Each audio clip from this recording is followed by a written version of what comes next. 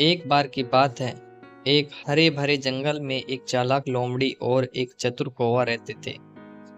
एक धूप वाले दिन कौवे को स्वादिष्ट पनीर का टुकड़ा मिला और वह एक शाखा पर बैठ गया। पनीर की सुगंध ने लोमड़ी का ध्यान आकर्षित किया और उसने कौवे को धोखा देने का फैसला किया।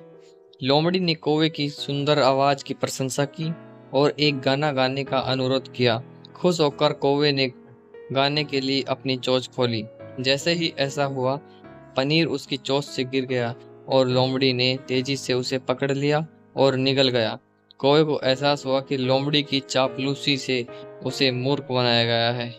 कहानी हमें यह सीख देती है कि चापलूसी और खोखली प्रशंसा गलत निर्णयों का कारण बन सकती है। सतर्क रहना महत्वपूर्ण है और दूसरों के मीठे शब्दों से अपने निर्णय को धूमिल न होने दे। इसके अतिरिक्त, कहानी बहुत अधिक भरोसेमंद और भोला होने के खिलाफ चेतावनी देती है, क्योंकि अन्य लोग हमारी कमजोरियों का फ़ायदा उठा सकते हैं।